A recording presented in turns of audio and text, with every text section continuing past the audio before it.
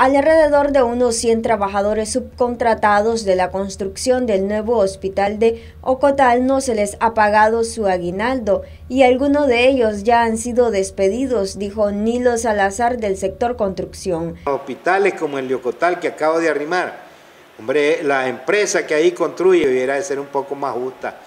No le pagaron aguinaldo a los trabajadores subcontratados.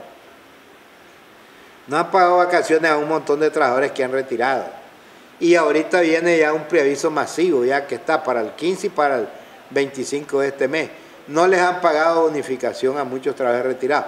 Y el Ministerio del Trabajo, yo siento muy frío la autoridad del Ministerio del Trabajo para resolver los problemas que tienen los trabajadores en ese proyecto. Yo le hago un llamado a la empresa con, con un objetivo sano, decirle, señores, nos sentamos a dialogar para resolver este problema o busquen cómo resolverlo, porque los trabajadores necesitan su plata y necesitan llevar algo a su, a su casa para poder subsistir.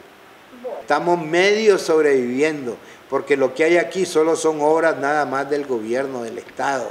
Son los hospitales, los centros de salud, obras públicas, aguas negras, aguas fluviales. Eso es lo que hay. Salazar afirma que la reforma tributaria está afectando dicho sector sobre todo con el impuesto del IR. Nosotros estamos pagando un IR en la clase trabajadora que es como dijéramos al capricho de quienes están en la Asamblea Nacional y quienes dirigen esta economía. Pero la verdad es que con los salarios bajos y con la situación de costo de vida que está, nosotros tenemos prácticamente más de 10 años de venir diciendo que lo que es el techo del IR debiera de estar de acuerdo al valor de la canasta básica. Porque no es posible que el techo del IR anual sea de 100 mil córdobas y mensual de 8.333 córdobas y por hora 32, 37.32 córdobas el techo del IR.